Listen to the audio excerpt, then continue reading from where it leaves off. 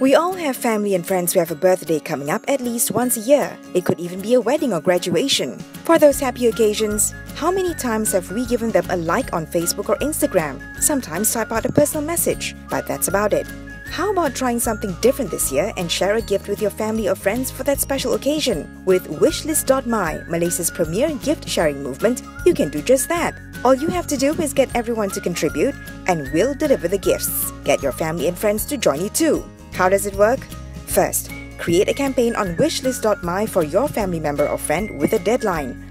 Choose a gift package that you know he or she will love. Next, kick off the campaign by contributing and then share with family and friends on your social media links.